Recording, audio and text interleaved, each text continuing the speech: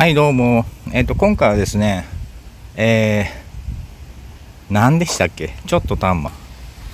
はい、えっ、と、つ、つなぎで。えっ、と、日本人嫁、合同結婚でですね、韓国に行った日本人嫁はですね、えー、土下座が当たり前だよっていう話ですね。えー、なんかですね、とりあえず謝謝罪から入れっていう宗教らしくて、統一教会ですよ。えー、なんかですね、とりあえず嫁に行ったらですね、えっ、と、とりあえず、あの、あの、私、あの、日本人嫁ですけど、日本人、日本人が韓国にひどいことをして申し訳ございませんでしたってところから始まるんですけど、えっ、と、それもひどいんですけど、なんかですね、えー、この間の韓通庫のデモに来てた方々ですかね、あの、その辺の路上でですね、あの、たくさん集めてですね、はい、もう、そこに集め集まった日本人嫁10人集めたから、はい、全員、あの、韓国人がここ歩くから全員土下座して謝れみたいな感じですね。そんな感じのことをですね、えー、ちょっとタンマはい、つなぎで。そういうお話をですね、聞くんですね。で、なんか変な画像みたいなのもありますし、えー、とにかくですね、な、なんなん、なんなんですかね。え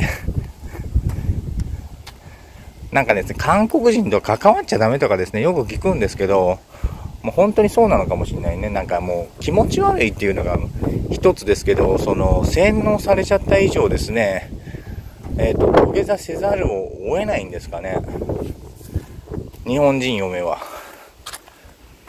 で、なんか、これなんか喋ったような気がするな。まあ、ひどい扱いを受けますしね。あれこれ、これ喋ったような気がするな。なんかメモ帳が2個あってね、同じのが書いてるかもしれないけど、あれなんか、変な、なんかおかんぱ頭の人になんか、鳩山幸夫が土下座してとかなんか、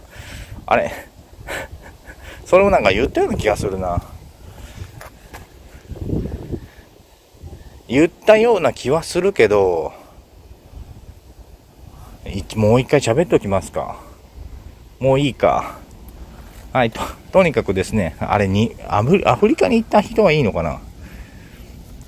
あの、アフリカに行った人はですね、土下座しろとは言われてないかもしれないですけど、韓国に行った日本人よりはですね、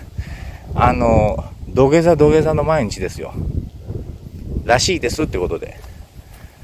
まあ、僕、僕、僕じゃないですか、ネットの人がそうやって言ってたんですけどね、土下座、土下座の毎日らしいよって。もう、その辺歩いてたらすぐ土下座で。ま、前からあの、か、やめとくか。はい。えー、日本人嫁はね、土下座土下座で殴る蹴る、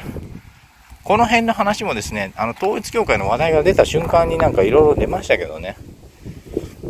まあ、改めてってことになるかもしれないですけど、はい、今回は以上です。